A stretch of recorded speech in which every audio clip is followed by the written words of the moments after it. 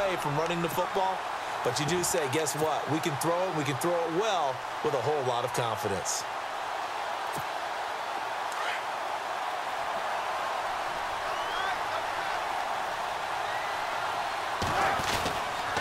Fournette, a first down carry.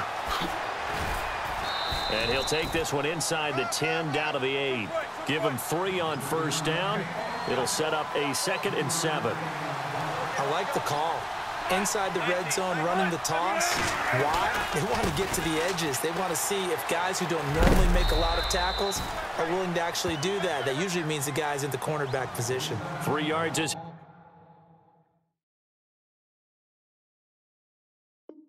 half of what they needed. Now can they get the other three here on third down?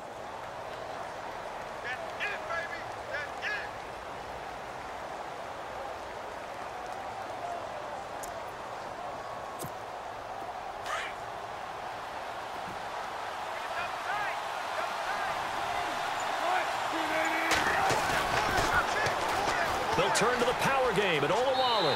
And he'll take this into the end zone. Touchdown, Washington. Jamize Olawale taking it in from four yards out. And the Redskins are able to strike for six. And this one through the uprights and good.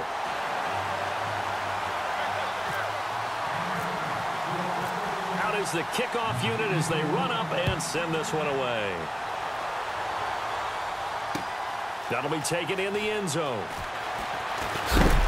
And he is hit pretty hard from the side as he's knocked down at the 22-yard line. Here's the Detroit offense now as they head back out onto the field.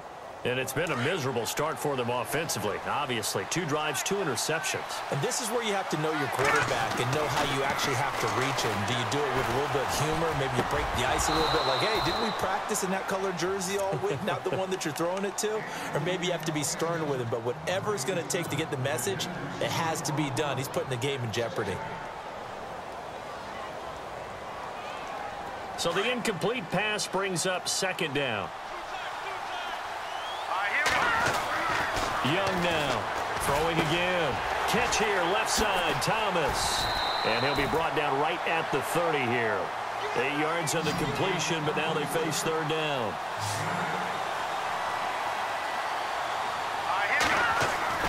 Now Young on third and two.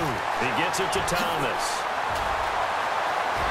A breakaway for Michael Thomas.